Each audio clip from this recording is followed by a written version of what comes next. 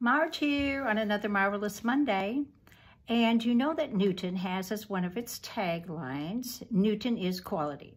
So how do we guarantee our quality? Well, several different ways. We follow the Code of Federal Regulations and the Homeopathic Pharmacopoeia of the United States. And if you missed those Minute with Marge, go back to YouTube and listen to those um, sessions, okay?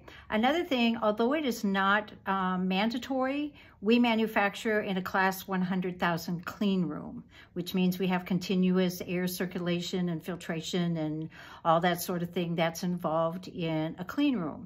We also, according to the Code of Federal Regulations and um, the Homeopathic Pharmacopoeia, we test our raw material coming in, we test our finished product going out, and it doesn't get released until we get a release from the independent lab that indeed it has passed the testing of testing for bacteria, yeast, mold, that sort of thing. We test the percentage of alcohol, for instance, to make sure that it has uh, the appropriate amount of preservative in there, certified organic, non-GMO, gluten-free, alcohol, of course.